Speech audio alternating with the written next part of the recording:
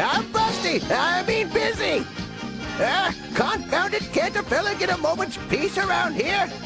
Did you know Ox King and your grandfather Gohan used to carry crates up these mountains all the time, and not once did they ever complain to me.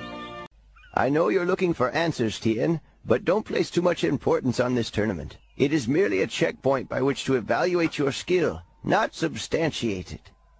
There is no greatest. Awarding a young man a title which declares him master of martial arts is very dangerous. It does nothing more than feed one's ego. That is why I decided my students would compete in the tournaments but never win. And Jackie Chun was my insurance.